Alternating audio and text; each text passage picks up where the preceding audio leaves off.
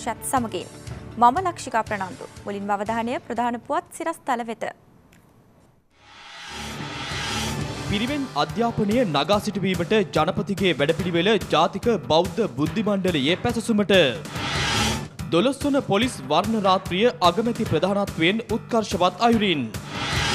ඉන්දියාවේ මූල්‍ය තත්ත්වය සම්බන්ධයෙන් යළිත් අර්බුදයක්. ශ්‍ර ලංකා දකුණු අප්‍රිකා දෙවන එක්දින තරගය අද.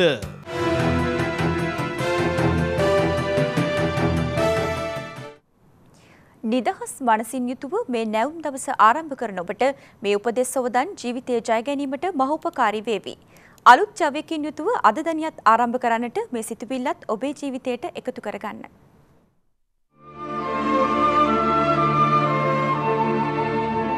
අභියෝගවලට ඇතැම් මිනිසුන් බයවෙන්නේ තමන්ට තමන් පිළිබඳව ගෞරවයක් නැතිකම නිසයි. හැබැයි මට මා ගැන විශ්වාසයි. ප්‍රවීණ බොක්සින් ශූර මොහමඩ් අලි.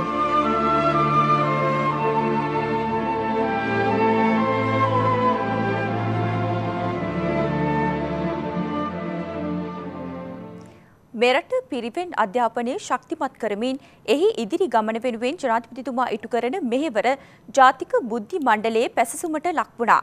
ජාතික බෞද්ධ බුද්ධි මණ්ඩලය ඊයේ පස්වරුවේ රැස් වුණේ ජනාධිපති මෛත්‍රීපාල සිරිසේන මැතිතුමාගේ ප්‍රධානත්වයෙන්.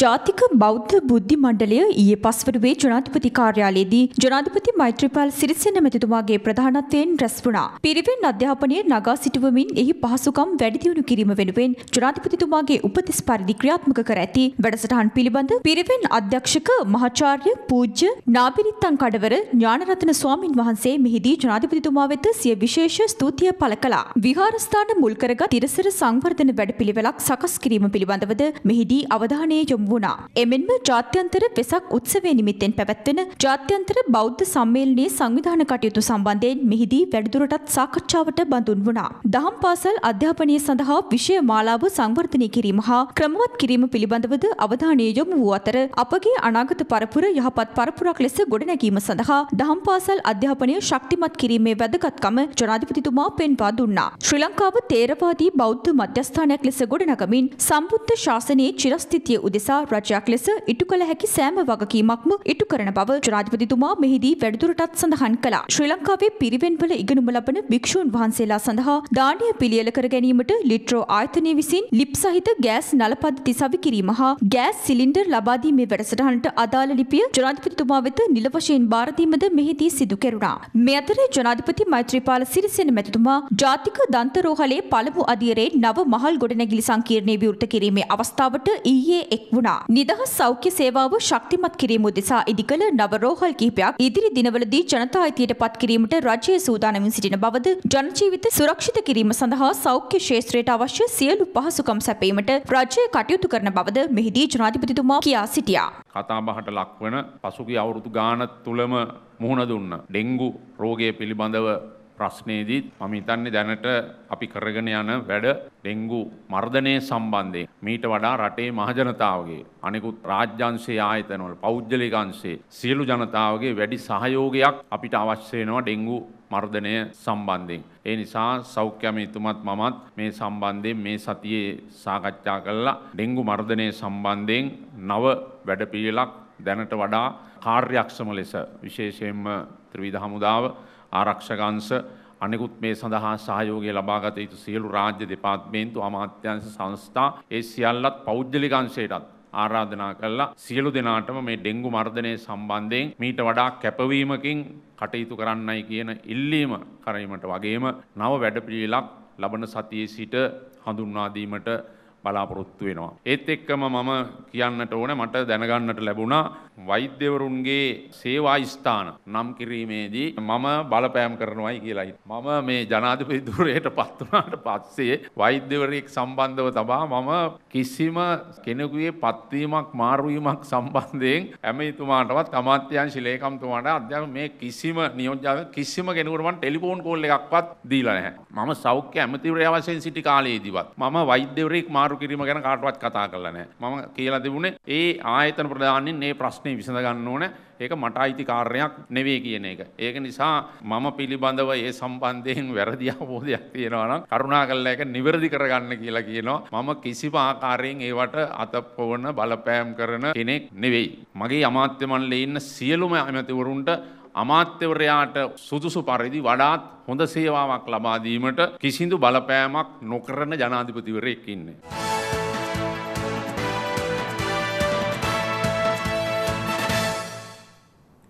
ශ්‍රී ලංකා පොලිස් වර්ණ රාත්‍රිය ඊයේ පසුරුවේ කොළඹ නෙළුම් පොකුණ රඟහලේදී පැවැත්වුණා. ඒ අග්‍රාමාත්‍ය රනිල් වික්‍රමසිංහ මහතාගේ ප්‍රධානත්වයෙන්. ශ්‍ර ලංකා පොලිස් වර්ණ රාත්‍රිය ඊයේ අති උත්කර්ශවත් ලෙස පැවැත්වුණේ අග්‍රාමාත්‍ය රනිල් වික්‍රමසිංහ මහතාගේ ප්‍රධානත්වයෙන්. මෙම අවස්ථාව සඳහා සාගල රත්නායක රවී කරුණානායක සහ දයාසිරි ජයසේකර යන අමාත්‍යවරුන් මෙන්ම පොලිස්පති පූජිත් ජයසුන්දර මහතා ඇතුළු පිරිසක් එක්ව සිටියා. පොලිස් ක්‍රීඩක ක්‍රීඩිකාවන් දිරිගැන්වීම සඳහා මෙම වර්ණ රාත්‍රිය සංවිධාන කර තිබූ අතර පොලිස් ඉතිහාසයේ පළමු වරට මෙවැනි වර්ණ රාත්‍රියක් පවත්වා ඇත්තේ එක්දහස් නමසය හැට අට වසරේදී. ඊයේ පැවැත්වුණේ දොළොස් වන පොලිස් වර්ණ රාත්‍රියයි.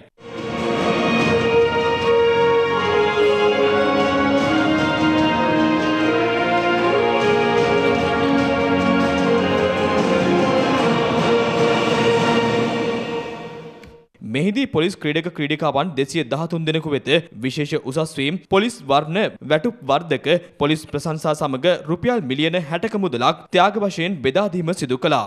මෙම වර්ණ රාත්‍රියේදී දේශීය මෙන්ම විදේශීය වශයෙන් සුවිශේෂී ලෙස දස්කම් දැක්වූ පොලිස් නිලධාරීන් වෙනුවෙන් විශේෂ සම්මාන පිරිනැමුණු අතර දෙදහස් නවය සිට දෙදහස් පහළව දක්වා වන වසර හතක කාලය තුළ එක් එක් වසරෙහි හොඳම ක්‍රීඩකයාට සහ හොඳම ක්‍රීඩිකාවට ලබා දෙන සුවිශේෂී වූ සම්මාන පිරිනැමීම අග්‍රාමාත්‍ය රනිල් වික්‍රමසිංහ මහතා විසින් සිදු කළා.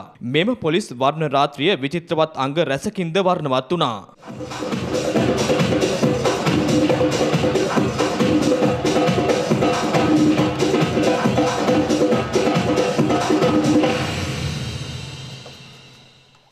that the police was started that we found the new games taking place in Sri Lanka. Whether it be cricket, whether it be football and some of the other games.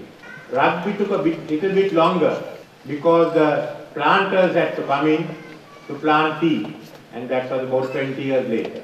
So hand in hand, the police became one of the main institutions for the encouragement and promotion of sports. The British colonial administration introduced sports into Sri Lanka through education institutions. A few Western schools that were started at that time, the law college and the medical college. And through one government institution, the police. There are many who are recruited from the schools and those who have came in from other sectors who could join the police. And you found one of the few institutions where Englishmen and the Sri Lankans played the game together. රටේ සම්පතක් වූ දීවර ප්‍රජාවගේ යහපත වෙනුවෙන් ක්‍රියාත්මක කරන ලද වැවක් සමග ගමක් සංවර්ධන ව්‍යාපෘතිය තුළින් දීවර ජනජීවිතයේ නගා සිටුවීමට පිටුවහලක් වන බව අමාත්‍ය මහින්ද අමරවීර මහතා පවසනවා. මෙහි ආරම්භක උත්සවය අමතමින් අමාත්‍යවරයා මෙම අදහස් පළ කළා. දීවර හා ජල්ජ සම්පත් සංවර්ධන අමාත්‍යංශය විසින් දීවර ගම්මානවල යටිතල පහසුකම් සංවර්ධනය සඳහා ආරම්භ කර තිබෙන වැවක් සමග ගමක් සංවර්ධන ව්‍යාපෘතිය නැගෙනහිර පළාත තුළ ක්‍රියාත්මක කිරීමේ කටයුතු ආරම්භ කර තිබෙනවා. මේ යටතේ රුපියල් මිලියන 200කට අධික මුදලක් අමාත්‍යාංශය විසින් දීවර උපකරණ සඳහා වැය කර ඇති අතර මෙම වැඩපිළිවෙල යටතේ මෙතෙක් යටිතල පහසුකම් සංවර්ධනය නොවූ දීවර ගම්මානවල මහා මාර්ග නිවාස ජීවනෝපාය මාර්ග සැකසීම පානීය ජලය ලබා දීම සහ සනීප ආරක්ෂක පහසුකම් නැන්වීම වැනි වැඩ කටයුතු රැසක් ක්‍රියාත්මකයි. අපිට පුළුවන් උපරිම ශක්තිය යොදලා ඔබට ඉදිරියේදී වැඩි මත්ස්‍ය පැටවුම් ප්‍රමාණයක් ලබා දෙන්නත් ඒ වගේම අනෙකුත් දැල් ඔරු ආදිය ලබා දෙන්නත් අපේ අමාත්‍යාංශය තුළින් හැකි උපරිම ප්‍රමාණයක් ලබා දෙන්න අවශ්‍ය පියවර ගන්න බව මම මේ අවස්ථාවේ සඳහන් කරන්න කැමතියි. ඒ වගේම අපිට උවමනා වෙන්නේ ලක්ෂයකට වැඩිය මාසෙට ආදායම් ගන්න දීවරයෙක් නිර්මාණය කරන්න. ඒ වගේම මේ ගන්න මුදල නාස්ති කරන්නේ නැතුව පවුලේ අනාගතය උදෙසා ඒ මුදල් ඉතුරු කරගෙන කටයුතු කරන දීවරයන් පිරිසක් බී කර ගැනීම තමයි අපේ ඉලක්කය බවට පත් වෙලා තියෙනවා. අනාගතයේදී අපේ ඊළඟ අවුරුදු කිහිපය ඇතුළත 2020 වෙනකොට ලංකාවේ විදේශ විනිමය ගේන ප්‍රධාන මාර්ග කිහිපය අතරට මේ දීවර කර්මාන්තය එකතු කිරීම. වත්මන් දේශපාලන තත්ත්වය පිළිබඳව අමාත්‍ය එස්.බී. දිසානායක මහතා ඊයේ මාධ්‍ය වෙත අදහස් පළ කළා.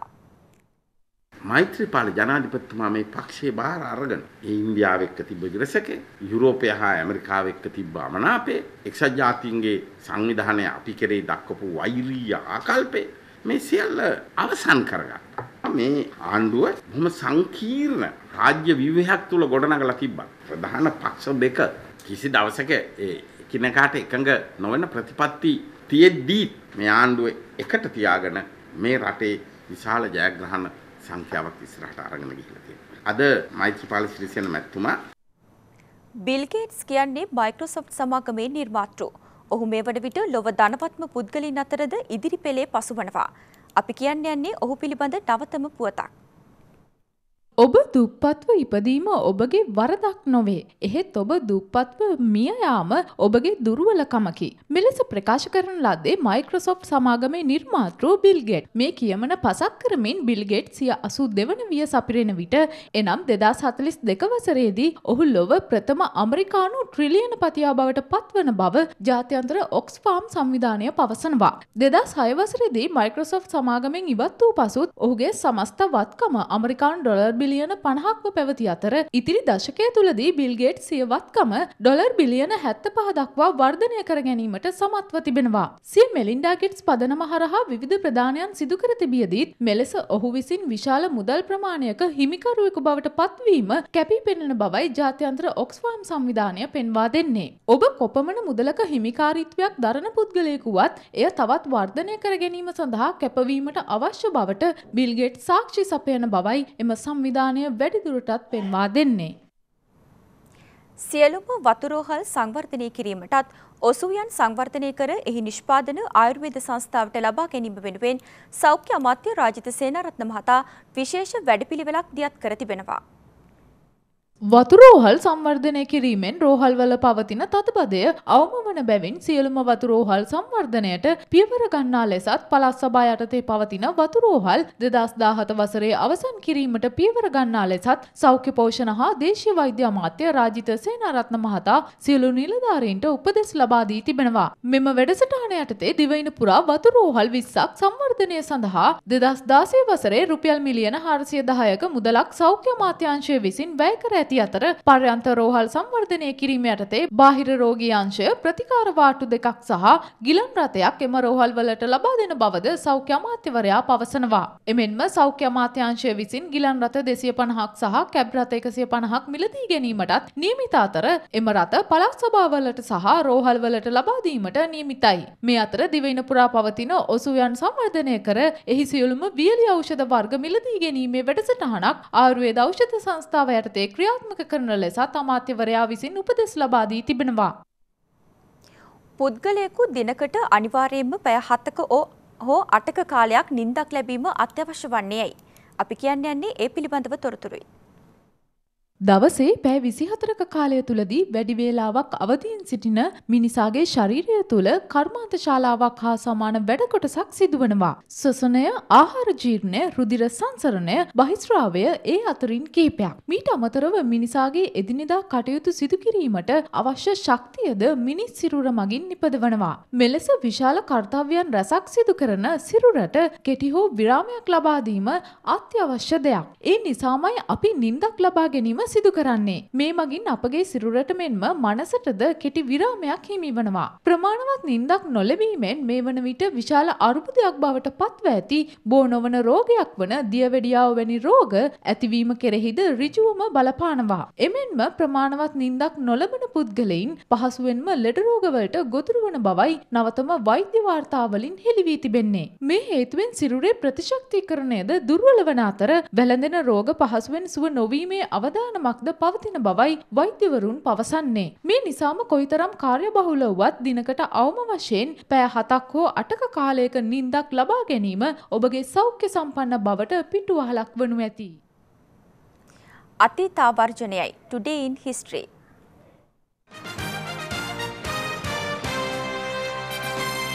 lieutenant general ශ්‍රීමත් එඩ්වඩ් බාන්ස් මහතා මෙරට ආණ්ඩුකාර දුරේ දියුරුම් දුන්නේ එක්දහස් අටසිය විස්ස වර්ෂයේ අදවැනි දිනකයි. ඔහු මෙරට පස්වන බ්‍රතාන්‍ය ආණ්ඩුකාරවරයායි.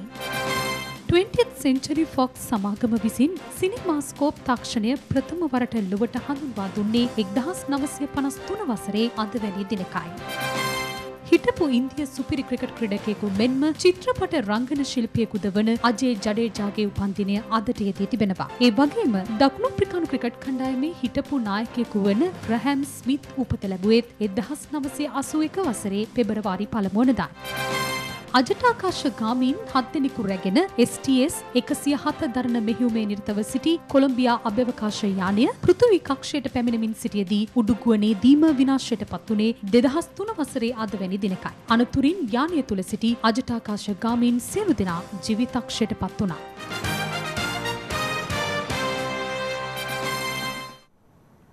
ලෝක ප්‍රසිද්ධ රිං බ්ලින් බ්‍රදර්ස් සර්කස් කණ්ඩායම තම සංදර්ශන නවතා දැමීමට තීරණය කර තිබෙනවා.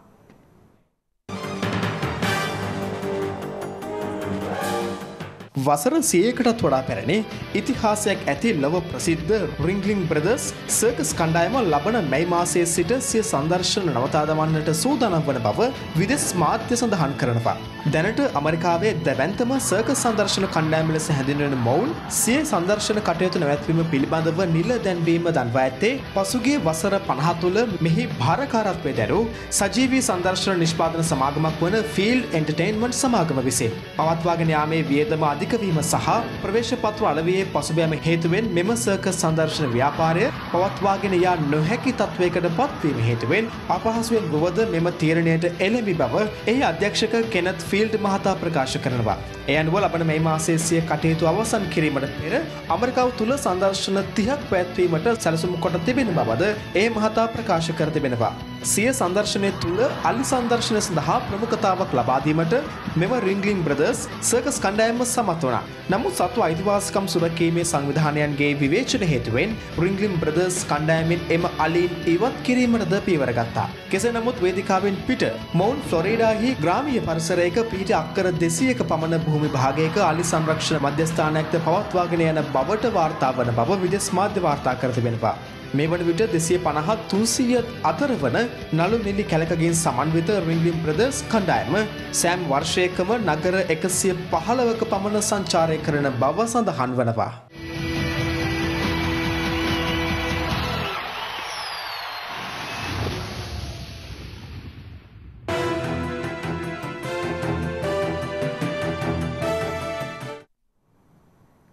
අමරිකානු නව ජනාධිපති ඩොනල් ට්‍රම්ප්ගේ බ්‍රිතාන්‍ය සංචාරයට බ්‍රිතාන්‍ය වැසියන්ගේ විරෝධය පළ වී තිබෙනවා. විදෙස් වාර්තා පැවසුවේ බ්‍රිතාන්‍ය අග්‍රාමාත්‍යවරයගේ ආරාධනය හමුවේ බ්‍රිතාන්‍ය රැජිනද දැඩි අපහසුතාවයකට පත්ව සිටින බවයි. බ්‍රිතාන්‍ය සංචාරයක් වෙනුවෙන් නව අමරිකානු ජනාධිපති ඩොනල් ට්‍රම්ප්ගේ පත්වීමත් සමග නිල වශයෙන් ආරාධනා කෙරුණා. ආරාධනාව සිදු කරනු ලැබුවේ බ්‍රිතාන්‍ය අගමැතිනි තෙරේසා මේ විසින්. විදෙස් වාර්තා පැවසුවේ පත්වීමත් සමග කඩිනමින් සිදු කෙරුණු මෙම ආරාධනය නව අමරිකානු ජනාධිපතිවරයා විශ්මයට පත් කළ බවයි. කෙසේ වෙතත් මෙම ආරාධනයත් සමග බ්‍රිතාන්‍ය රැජින දැඩි අපහසුතාවකට පත්ව සිටිනවා. ඒ බ්‍රිතාන්‍ය වැසියන් ට්‍රම්ප්ගේ පැමිණීමට විරෝධය පළ කිරීම හේතුවෙන්. අමරිකානු ජනාධිපතිවරයා සිරටට පැමිණ පැමිණීම අත්හිටුවන ලෙසට බල කරමින් අත්සන් මිලියන එකයි දශම හයකින් සමන්විත පෙත්සමක් ඉදිරිපත් කිරීමට බ්‍රතාන්‍ය වැසියන් කටයුතු යොදා තිබෙනවා. මෙවන විටත් හැත්තෑ දහසක් පමණ අදාළ පෙත්සමට අත්සන් තබා ඇති බවයි බ්‍රතාන්‍ය මාධ්‍ය වාර්තා කළේ. ඒ දිනේදීද දහස් සංඛ්‍යාත බ්‍රතාන්‍ය වැසියන් වීදි බැස අමරිකානු ජනාධිපතිවරයාගේ ක්‍රියාකලාපයට එරෙහිව උද්ඝෝෂණයක නිරත වුණා. ඉරාකය, සිරියාව, ඉරානය, ලිබියාව, සෝමාලියාව, සුඩානය සහ යේමනය යන මුස්ලිම් රටවල් හත වෙනුවෙන් අමරිකාවට ඇතුළු වීමට කිරීමට සංක්‍රමණික තහනමක් නිකුත් කිරීමට ට්‍රම්ප් ගත් උත්සාහයට විරෝධය පළ කිරීම මෙහි අරමුණයි. මෙම මතභේදකාරී සංක්‍රමණික තහනම සම්බන්ධයෙන් හදිසි පාර්ලිමේන්තු විවාදයක් පැවැත්වීමට පවා බ්‍රිතාන්‍යයට සිදු වුණා. ඉන්දියාවේ මූල්‍ය තත්ත්වය සම්බන්ධයෙන් යළිත් අර්බුදකාරීත්වයක් පැන නැගී තිබෙනවා. නවතම ආර්ථික සංගණනයෙන් හෙළිවී ඇත්තේ එරට ආර්ථික වර්ධන වේගයේ මන්දගාමීත්වයක් හටගෙන ඇති බවයි. ඉන්දියාවේ කළුසල්ලි භාවිතය ඉහළ යාම සහ නීති විරෝධීව මුදල් සන්තකයේ තබා ගැනීම යන හේතු පදනම් කර ගනිමින් ඉකුත් වසරේ නොවැම්බර් 8 වනදා නෝට්ටු කිහිපයක් භාවිතය නිවත් කිරීමට නියෝග කෙරුණා. නියෝගය ලබා දෙනු ලැබුවේ එරට අග්‍රාමාත්‍ය නරේන්ද්‍ර මෝදි විසින්. එලෙස භාවිතයෙන් ඉවත් කරනු ලැබුවේ ඉන්දිය රුපියල් 500 සහ දහසේ නෝට්ටු ද්විත්වයයි. පසුව ඒ වෙනුවට නවතම මුදල් නෝට්ටු හඳුන්වා දීමට පියවර ගැනුණා. ඉකුත් වසරේ ඉන්දියාවේ අයවැය පාර්ලිමේන්තුවට ඉදිරිපත් කිරීමෙන් අනතුරුව සිදු කළ සමීක්ෂණයකදී හෙළිව ඇත්තේ එරට ආර්ථිකය මන්දගාමී වී ඇති බවයි. මෙම ආර්ථික මන්දගාමීත්වය එරට තනි පුද්ගල ව්‍යාපාරිකයන්ට සහ කුඩා පරිමාණ ව්‍යාපාරිකයන්ට දැඩි ලෙස බලපා ඇති බවයි ඉන්දිය රජය පෙන්වා දෙන්නේ. මීට හේතුව ලෙස අදාළ සමීක්ෂණ කණ්ඩායම පෙන්වා දෙන්නේ ඉහළ වටිනාකමකින් යුතු මුදල් නෝට්ටු බැංකුවලින් ආපසු ලබා ගැනීමට ජනතාව කටයුතු කිරීමයි. මෙම තත්ත්වය මත මෙම වසරේ මාර්තු මාසය වන විට සිට හය දශම පහකින් ඉහළ යනු ඇති බවට අපේක්ෂා කළ ඉන්දියාවේ ආර්ථික මට්ටම සිට හතයි දශම හයකින් පහළ බසිනු ඇති බවට අදාළ සමීක්ෂණ කණ්ඩායම පුරෝකථනය කර තිබෙනවා.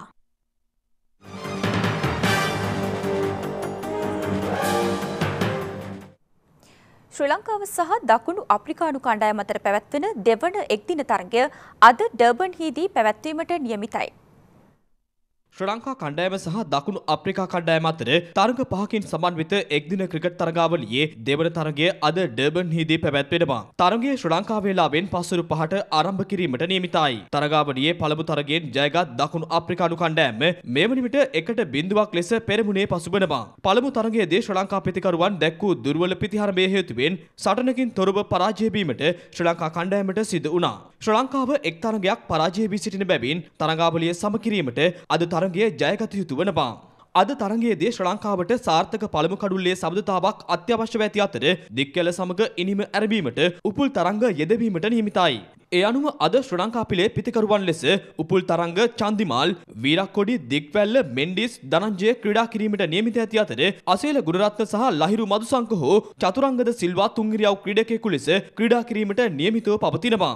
ලක්ෂන් සඳකැන් දඟපන්දු යවන්නා ලෙස ක්‍රීඩා කරන අතර නුවන් කුලසේකර සහ සුරංග ලක්මල් හෝ ලහිරු කුමාර වේගපන්දු යවන්න ලෙස ක්‍රීඩා කිරීමට නියමිතයි. මේ අතර දකුණු අප්‍රිකානු පිළ පළමු තරගයට ක්‍රීඩා කළ කණ්ඩායමම යෙදවීමට තීරණය කර තිබෙනවා.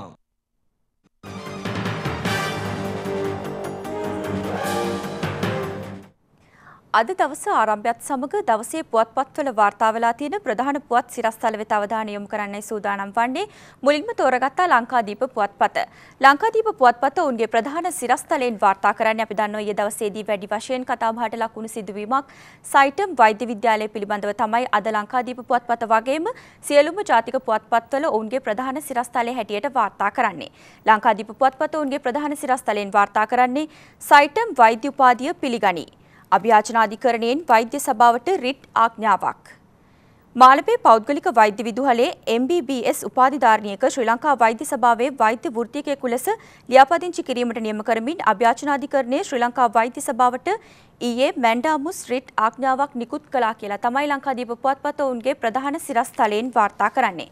ඒ වගේම තවත් පුවතක් වාර්තා කරනවා අනුසිරස්තලයක් හැටියට ලංකාදීප පුවත්පත මධ්‍යම අධිවේගයේ දෙවන අදියර වැඩ ඇරඹීම අද ලංකාදීප පුවත්පතේම තවත් පුවතක් වාර්තා කරනවා සයිටම් ආයතනය විසින් නිකුත් කර නිවේදනයක් වෛද්‍ය උපාධි ප්‍රදානයට සයිටම්ට ඇති නීත්‍යානුකූල හැකියාව යළිත් තහවුරු වුණා. සයිටම් ආයතනයේ නිවේදනයක් යනුවෙන් තමයි ලංකාදීප පුවත්පත ඔවුන්ගේ අනුසිරස්තලයෙන් වාර්තා කරන්නේ. ලංකාදීප පුවත්පතෙන් අනතුරුව සූදානම් වන්නේ දිවයින පුවත්පත වෙත අවධානය යොමු කරන්න. දිවයින පුවත්පතත් ඔවුන්ගේ ප්‍රධාන සිරස්තලයෙන් වාර්තා කරන්නේ සයිටම් වෛද්‍ය විද්‍යාලය පිළිබඳව සයිටම් උපාධිධාරණයට වෛද්‍ය සභාවේ ලියාපදිංචියට අවසර. අභ්‍යාචනාධිකරණය තීන්දු කරයි. යන්වෙන් තමයි දිවයින පුවත්පත ඔවුන්ගේ ප්‍රධාන සිරස්තලයෙන් වාර්තා කරන්නේ. එවගේම තවත් පුවතක් වාර්තා කරනවා ජෝතිර්වේදී විජිත රෝහණට ඇපදේ. ඇපදීමට කිසිවෙකු නොමැතිව අද දක්වා රිමාන්ඩ් යනුවෙන් තමයි දිවයින පුවත්පත අනුසිරස්තලයක් හැටියට වාර්තා කරන්නේ.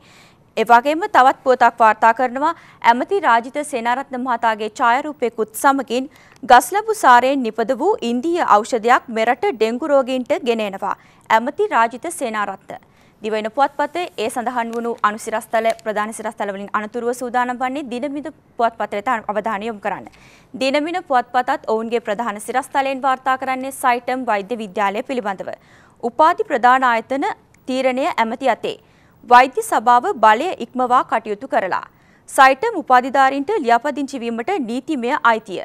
එවගේම තවත් පුවතක් වාර්තා කරනවා අග්‍රාමාත්‍ය රනිල් වික්‍රමසිංහ මහතාගේ ඡායාරූපයකුත් සමගින් රජයේ පාසල්වලට ගුරුවරුන් බඳවා ගැනීම පාසල් මට්ටමින්. වගේම තවත් පුවතක් වාර්තා කරනවා පක්ෂය ජනතාව අතරට ගෙන යන්න බැරි නම් සංවිධායකකම නැහැ. දිනමින පුවත්පතේම තවත් පුවතක් වාර්තා කරනවා ජනාධිපතිතුමාගේ උපදෙස් පරිදි ඉදිරි සතියේදී නව ඩෙංගු මර්ධන වැඩසටහනක් දියත් කිරීමට බලාපොරොත්තු වෙනවා. ඒ පුවත සම්බන්ධයෙන් දිනමින පුවත්පත ඔවුන්ගේ අනුසිරස්තලයක් හැටියට වාර්තා කරනවා. ඩෙංගු මර්ධනය කඩිනම් කරන්න ජනපතිගේ අවධානය. දිනමින පුවත්පතේ ඒ අනුසිරස්තල ප්‍රධාන සිරස්තල අනතුරුව සූදානම් වන්නේ මව්බිම පුවත්පත වෙත අවධානය යොමු කරන්න. මව්බිම පුවත්පතත් ඔවුන්ගේ ප්‍රධාන සිරස්තලයෙන් සයිටම් වෛද්‍ය විද්‍යාලය පිළිබඳවයි වාර්තා කරන්නේ චාරූපයකුත් සමගින් සයිටම් වෛද්‍ය උපාධිය අභියාචනාධිකරණය අනුමත කරයි. වගේම මව්බිම පුවත්පත තවත් පුවතක් වාර්තා කරනවා අනුසිරස්තලයක් හැටියට අලුත් මැලේරියා මාරයා ගැන ජනපතිගේ දැඩි අවධානය.